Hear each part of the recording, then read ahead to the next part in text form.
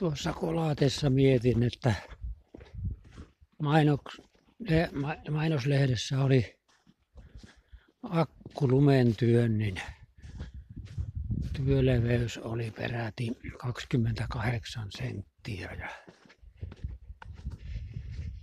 kolmen ampeeritunnin akku, jolla voi työntää sitten 15 minuuttia. Pitäisiköhän laskea paljonko siinä niinku 200 watin teholla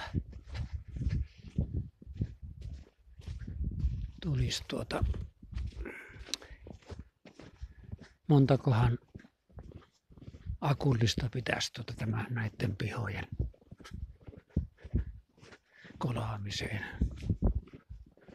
Tuossa olisi vielä ainakin neljän minuutin työmaa, kun viittis.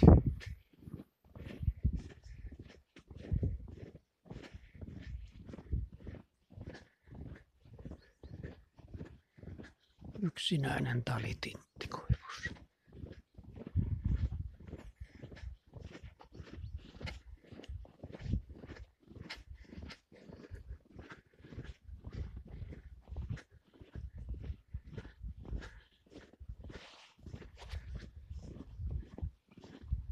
Antti pukkaa sitten traktorilla nuo tuosta, kun se tulee kun kerkii.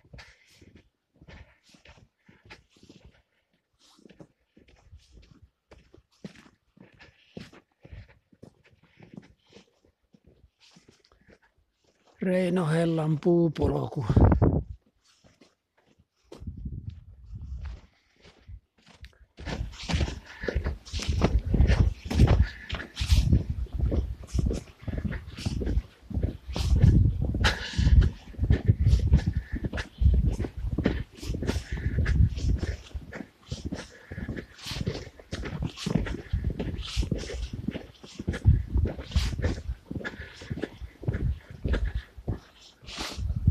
No tässä ei paljon ole hommia.